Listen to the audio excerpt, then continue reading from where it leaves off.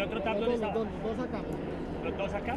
Unos 4.000 miembros de las Fuerzas Armadas colombianas seguían el martes la pista del disidente de las FARC, Walter Arizala, conocido como Guacho, tres días después de que anunciaran haberlo herido en combate el sábado.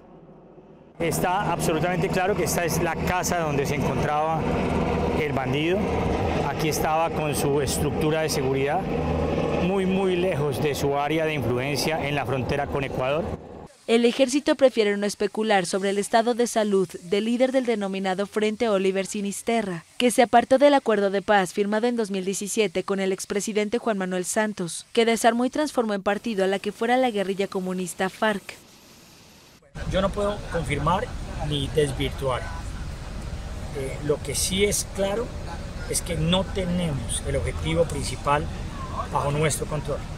Únicamente hasta que tengamos su cuerpo o hasta que lo capturemos vivo, nosotros podremos mirar al, al pueblo colombiano a los ojos y decir la verdad y nada más que la verdad. Guacho es buscado por Colombia y Ecuador. Se le culpa de haber secuestrado y asesinado un equipo de periodistas ecuatorianos. Las fuerzas conjuntas, el SECOE, que es como lo llamamos, pues inició un intercambio de disparos, habiendo sido herido de dos tiros de fusil el Guacho, pero sus escoltas, sus protectores, inmediatamente lo recogieron, se lo llevaron y en el fragor del combate, pues a pesar de que hay un plan candado, no los hemos podido encontrar a esta hora. Al grupo de Guachos se le acusa además de operar como brazo armado del cártel mexicano de Sinaloa.